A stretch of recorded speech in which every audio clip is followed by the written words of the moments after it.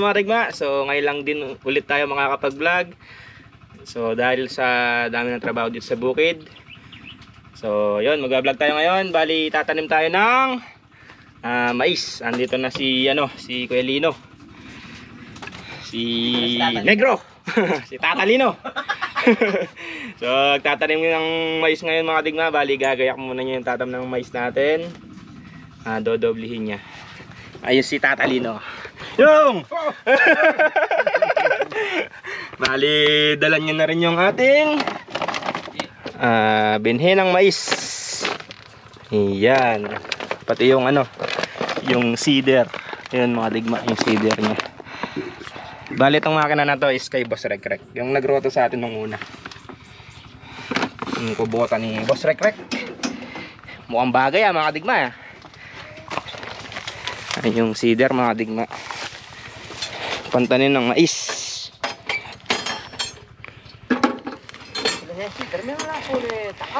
Tapos may adjustan yan mga digma. Kung gaano ka ano yung pagitan.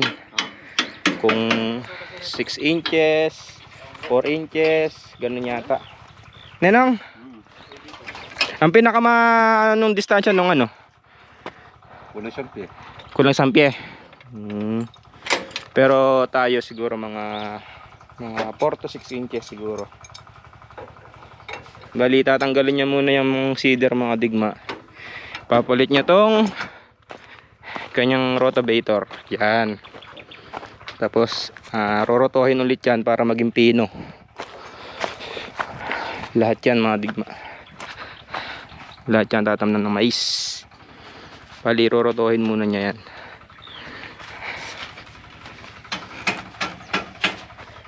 So bali ngayon pa lang kasi tayo ulit makakapag-vlog mga kadigma. Ano yan? Di ba? Ang madami ang Talong, talong. trabahong bukid. Hey! Andiyan na ang aming mga binhi. Hybrid. Hybrid corn. 5 bags. Yeah. Yan na. 88, ano? 8840 no, nong? Di ba meron pang isang mas maganda dyan? Yung. Ah, ah, mas maaga na. Mas maaga yun mga digma. Ang ano pang ano mong maganda? Marian Rivera, yun, maganda. yung para sa akin, lahat yan maganda. Ah, Basta to, maganda yung ani. mm, maganda. Tsaka kung marunong nag-aalaga, no? Nasa kalaga yan. Mm. Maganda yata nang nakikita. Hindi, yung akin par mas maganda mas maganda kung bigay lang. Bali, per bag nun mga digma, ah 4K, isang bag. Ah, iba-ibang ano, depende sa buto yung kilo, hindi pare-pares yung kilo. Basta depende sa buto. Merong 8 and a half, merong 8. Ay! Ayoko diyan, bahay pipi mo ko. Ayun na. Tatanggal. Ayun, tanggal na. Ibababa muna niya yung cedar. Yan ba't yung iba may ano? Ang takip. Oo. Tsaka ano nung, yung iba nung tawag doon? Pataba. Oo. Ito, dito yung pataba niya. Oo. Kaso tinanggal na. Tinanggal namin parang abradol. Ma nakakabusit na, maraming abubot. Maraming napuput. Ayun, nagsisisi kami. Dapat pala hindi na tinanggal. Oo, kasi may nagkapatanim na mga digma na ano, Gusto may kawat yung mga pataba. kagad may, may abono. Ang tawag doon mga digma is pabaon. King kapampangan, pabakal. Mm, kailangan matindi. Pagka malakas yung lupa, hindi na kailangan yun, no? Mm. Katulad yung mga digma maganda yung lupa dyan.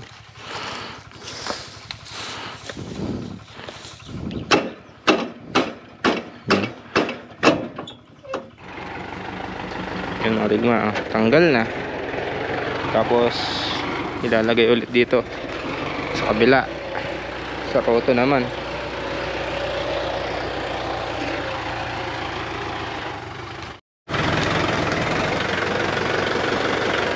Hop, ya.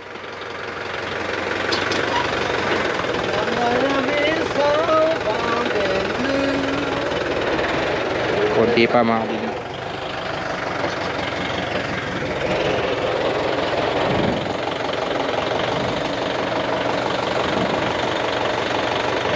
Negro, baka maipit ka dyan.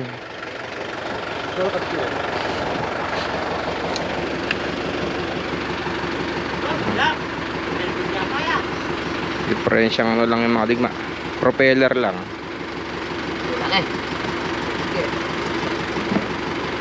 Yun oh. Sila. Nakita ko na yan ah. Parang nakikita ng bagay yan. Baba na yan. Dahil lumabarat ang barasos na. I-sentro mo lang. Ali, nong. Isen ay, bulsag. Sentro mo, Kenny oh. Kenny mo palub. Hop, hop. Yeah.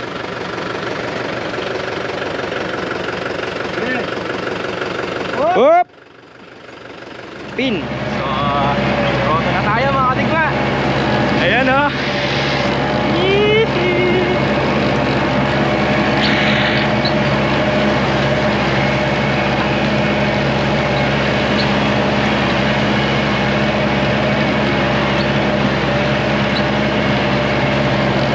Durog na, durog. Yun o mga katikma oh.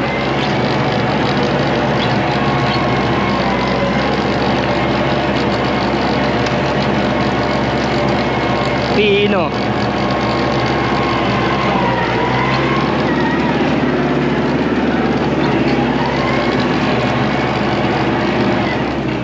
Atras.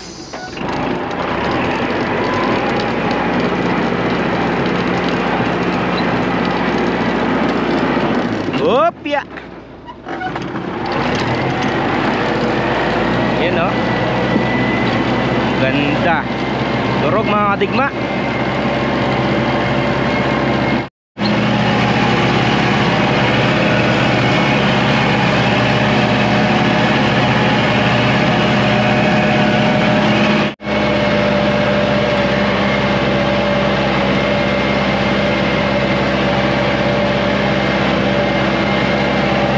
Ganda mga kadigma o. Durog na durog. So yun mga digma Ah, Ngayon makakapag, makakapag-vlog na tayo. Gawa ng Wala tayo masyadong trabaho ngayon. Ah, Nayari ko na yung mga ginagrass cutter. Makapagpatubig kami. So etong roto na lang talaga inihintay namin. At saka hindi siya pwede magroto kahapon Dahil ah, pinatayo ko muna yung damo. Bali kahapon Sa iba nagroto. Kasi nga hindi pa pwedeng rotohin to Dahil basa pa yung mga Ah, berde-berde pa yung mga damo kahapon. Nagpagitan ako ng isang araw para matuyo. Para yan, tulad yan. Ganda ng kinalabasan, no? So, yun. ah, kung maano nyo mga digma, madalang lang tayo mag-upload. Ah, yun nga po. Sobrang daming trabaho sa bukid. Tapos, plus, na hospital pa yung baby ni 4x4. Kami lang dalawa ni Bullstag. Ang lumulusong. Kaya, ang upload po natin is ah, madalang. Kaya hindi po tayo nakapag vlog at ah, yun nga po na hospital po yung Junakis 4x4 so ngayon hindi tayo masyadong busy. Pabantay-bantay lang tayo. Yan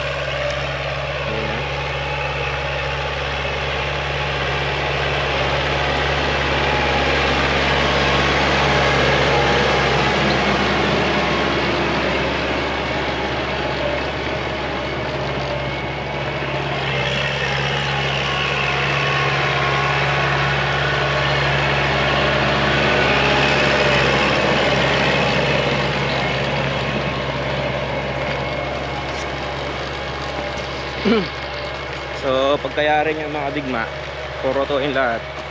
Ah, tapos tatamnan ng ano, cedar nga. Ah, yung pagtatanim kahit gabihin naman eh, wala namang ano yun. Ah, inihila lang din naman ng traktora yun tapos meron siyang naglalaglang ng buto. Kaya kahit gabi, pwedeng tumanim.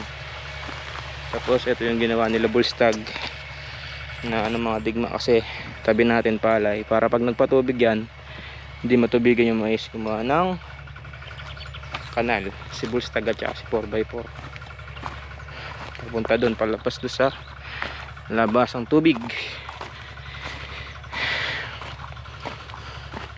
Ah, bali yan ang tatrabahoin namin. Papalahin namin para dire-diretso palabas yung tubig doon.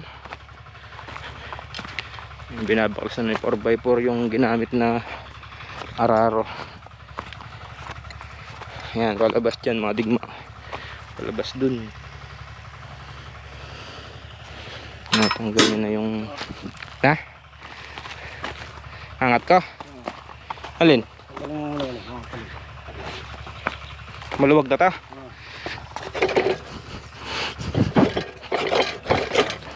yun na, tanggal na Sige, ilagay mo yung guide. Dito yung guide, di ba? So, gawin muna natin to mga kadigma. Yun, no? Farmer na kami, construction worker pa, no, Bursag? Daanan ng tubig yan mga digma. Papunta dun! So, gawin muna namin. Hanggang dun yan eh. Hanggang dun sa may dulo.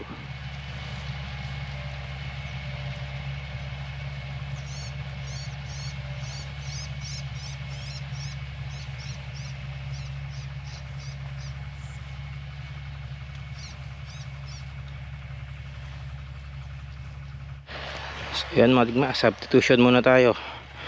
Bullstag, sinubstitute si 4x4. Tayo naman, sinubstitute ulit tayo ni Bullstag.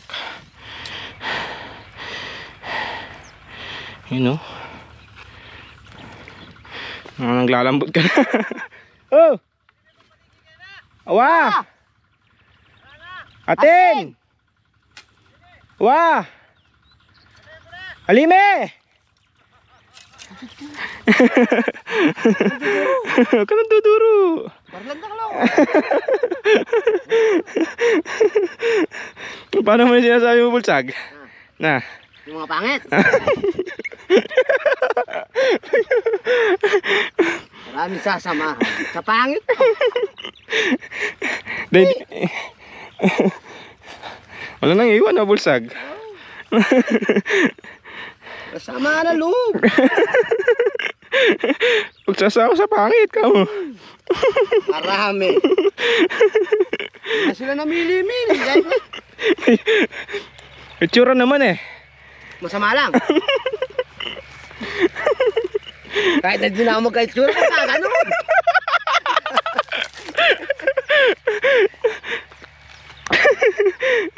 Andiyan na naman tayo sa... Hindi naman sa ma- mapanlay. Pangit man ako, mayroon pa palabas pangit sa akin.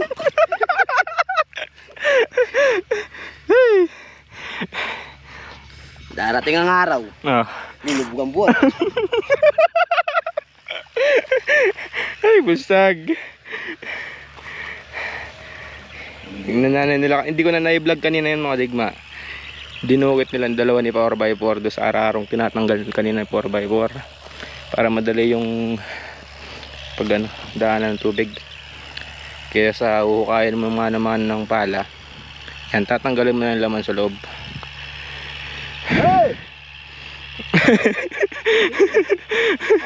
Kagabi mga kadigma, bali dyan sila natulog.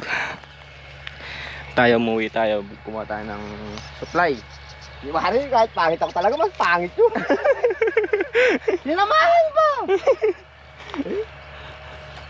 Pala sa sakit na ng loob yan. Nasamahan na loob. Dahil ikaw pinaghihi ko ng sama na loob.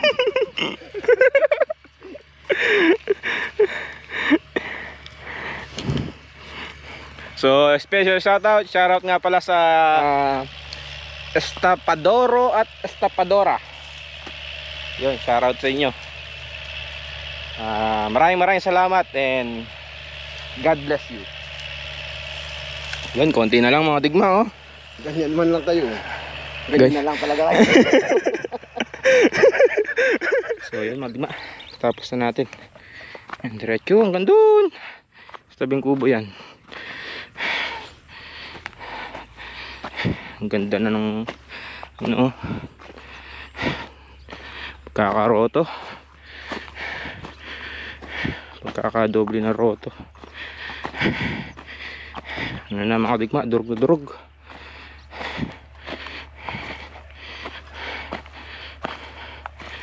Yan, halos lahat yan mga, lahat yan mga digma, datam na natin ang mais.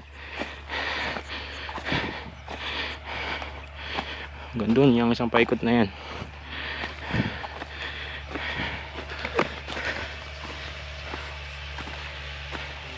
Tara sa kubo mga digma, tignan nyo yung di na doble. Sa na doble mga digma. Durog na durog.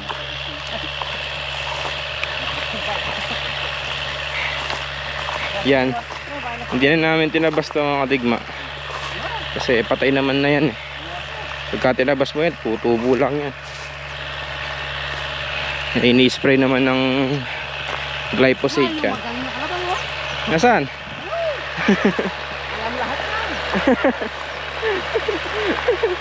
Araro. Ka sa karito. Magtoyo.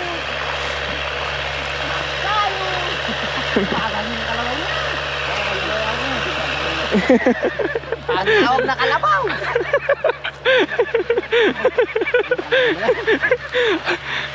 Ano lang yung bulsag? Napakainam ng kalabaw na yan. Kaya kahit bili ng tatlong daan yan, di ko bili.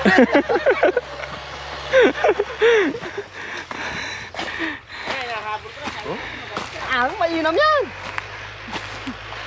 Hindi mainam yung tatali mo sa puno na saging, tutumba lahat. Tawag na kalabaw.